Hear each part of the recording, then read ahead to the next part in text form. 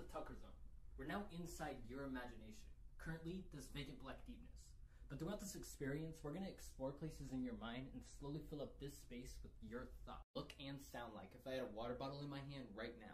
In fact, start to hear me shaking that water bottle. Right by your right ear. Cool, right?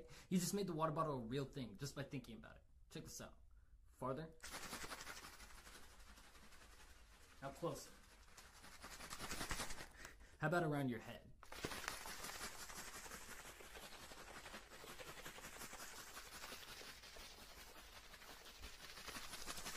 Okay, we're done with this. I'll just uh, throw this back in. It's so crazy how everything around us is once just a thought somebody had, you know, just an idea.